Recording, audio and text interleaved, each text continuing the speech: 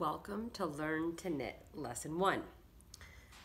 We're going to learn how to knit and the first step for learning to knit is casting on um, stitches onto one of your knitting needles. So you have two knitting needles and a skein of yarn. And the skein wrapper will tell you what size of needle to use with the particular yarn that you have. So the wrapper for this skein said 10, uh, US 10, and we happen to have some US 10 and halves, and I particularly like the bamboo, so we're using those. So we take one of the needles and unwrap a bit of your yarn, and you take the yarn leave a little tail because we'll weave it in later, but you need um, enough of a tail to be able to weave in. So you want it nice oh, and long. This is so soft. Don't talk during this, okay? So then what you do to cast on the very first one is, why don't you come and look right here.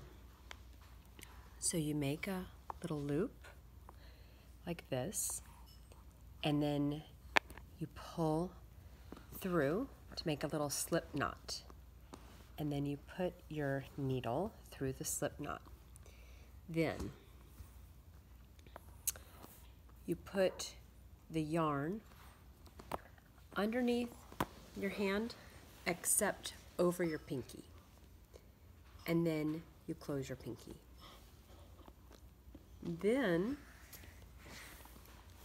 you take your index finger and put it underneath the yarn that's between the needle and your pinky. And you make a little hill.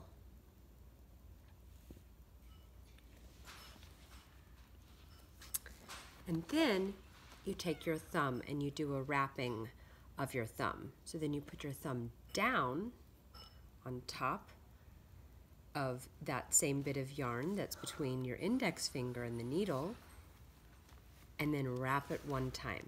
Now you are ready to cast on. Those are the three things you need to do. You have enough tension and movement and control to be able to cast on. So you put your index finger on the one slip stitch that's on the needle just to control it. And then you put your hand palm face up palm up. Then you take the needle and you put it right underneath the yarn that's on your thumb.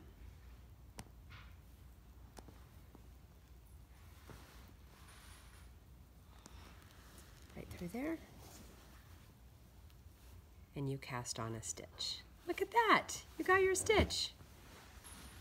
Do another, then through your th the hoop on your thumb. And then look at there, you got another stitch. The most important thing is the amount of tension on your needle. These stitches need to be loose. They can't be really tight. If they're tight, it will ruin your piece of knitting. But they can't be so loose that you don't see the form of the stitches.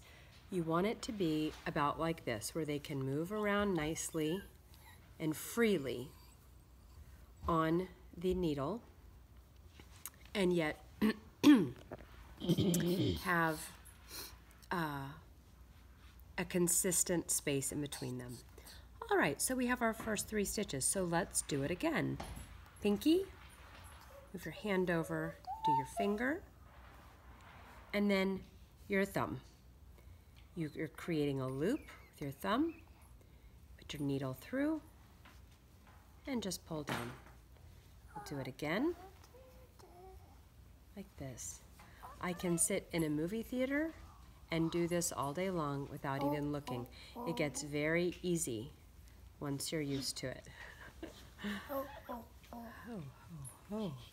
So we're going to cast on a bunch of these stitches and you'll see we'll have a whole bunch on the needle here. And we're going to make a scarf. And it's going to be a lovely scarf.